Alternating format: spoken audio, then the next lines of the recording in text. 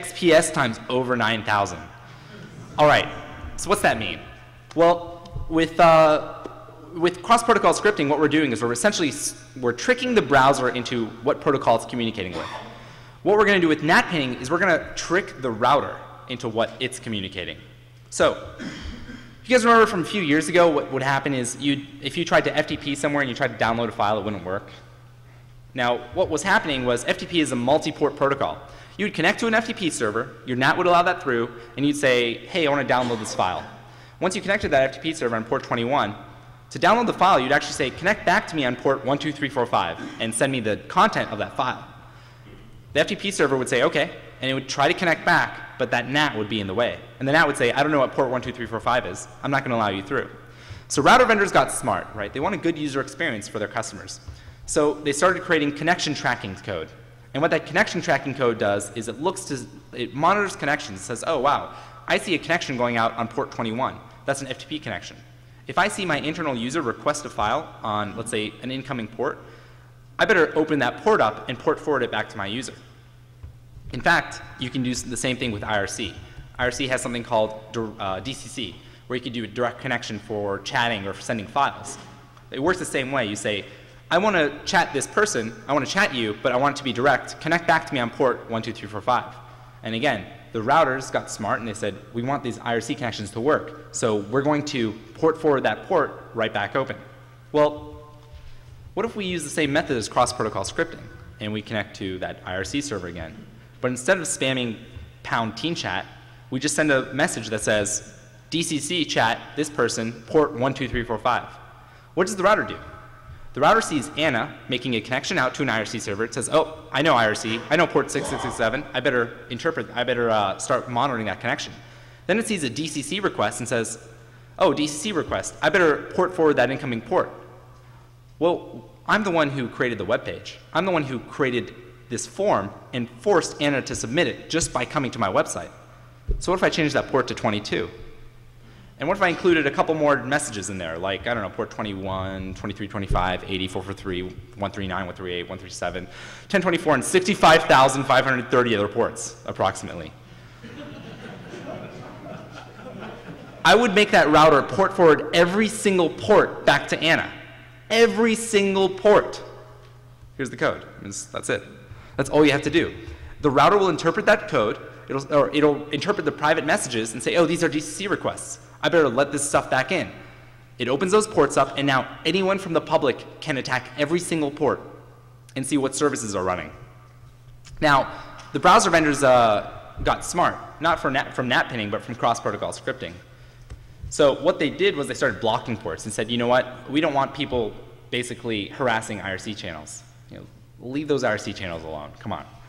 So what they did was they said, all right, we're not going to allow connections to 6667.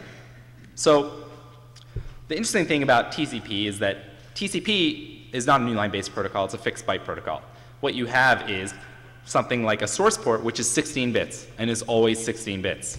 But when you're dealing with a browser, you're dealing with essentially your HTML, it's all strings.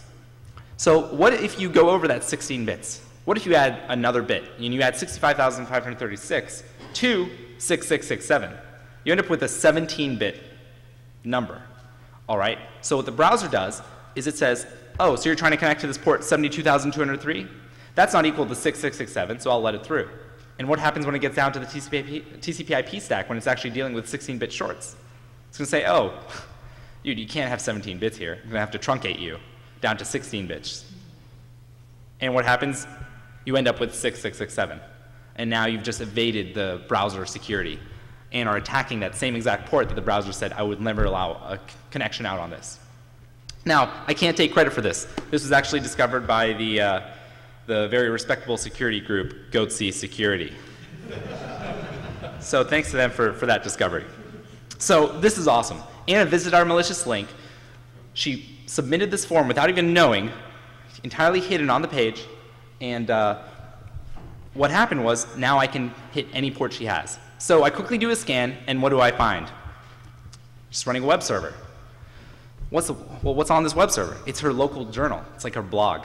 So I read it and I find out Twilight. I love Twilight.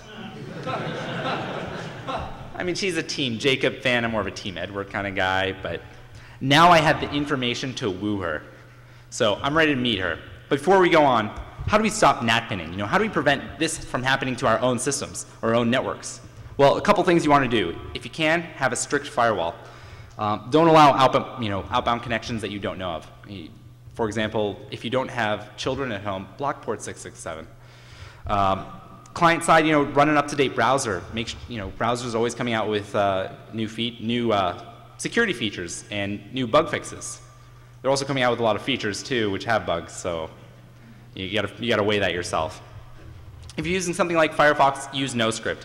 Uh, as soon as NAT pinning came out, the next day they added uh, NAT pinning prevention to NoScript. So if you can, definitely use that software to, to, protect your client system. Also use something like Little Snitch if you can. Little Snitch is for OS X. Uh, it'll say, oh, your Firefox is trying to communicate on port 667, which is not normal. Do you want to allow this through? Essentially, you want multiple layers of protection, like I would use with Anna.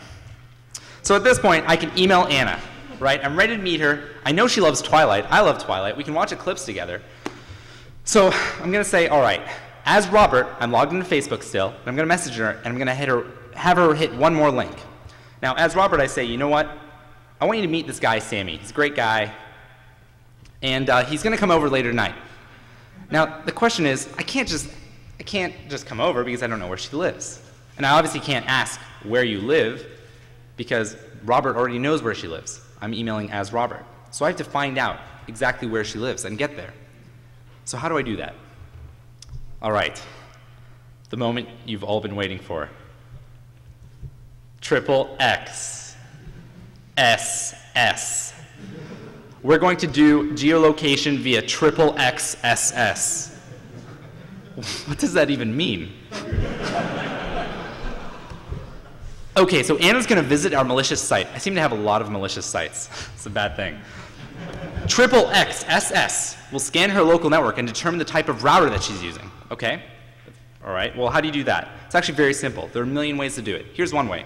You can just have multiple iframes running on the site, all hidden, and what they do is they just hit different URLs. So if you have a Belkin router, for example, your, the URL for setting it up is 192.168.2.1 slash setup.cgi.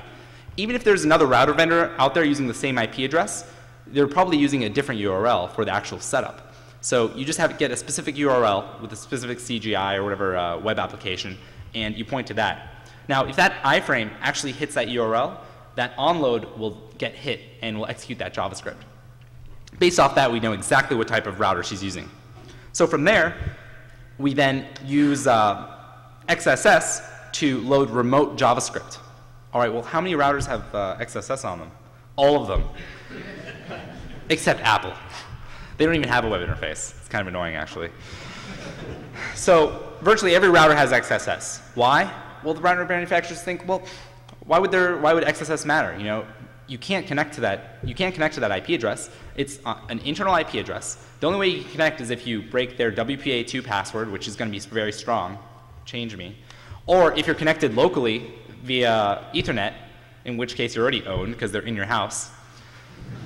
But no, we have the web browser, right? The web browser is the, the powerful force that allows me to make you execute code. This is why it's a code distribution channel. You are executing my code that is entirely untrusted, that you never even agreed to. Just the fact that you went to that URL, or you went to a website that was somehow attacked by me and is now executing code that I want you to execute. It, it's crazy.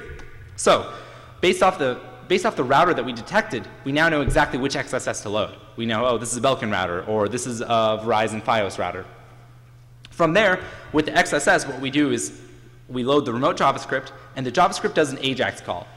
Now that the AJAX call is, the AJAX call will actually call the uh, local info page of the router. Okay, so what's there? LAN IP address, WAN IP address, router MAC address. And what do we do?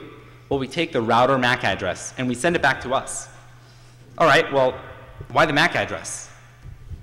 Well, obviously, if we want to look something up, you just Bing it. I'll help you. Open your browser, type www.bing.com in your URL bar. When, uh, when Bing loads and that search box loads, loads type in Google.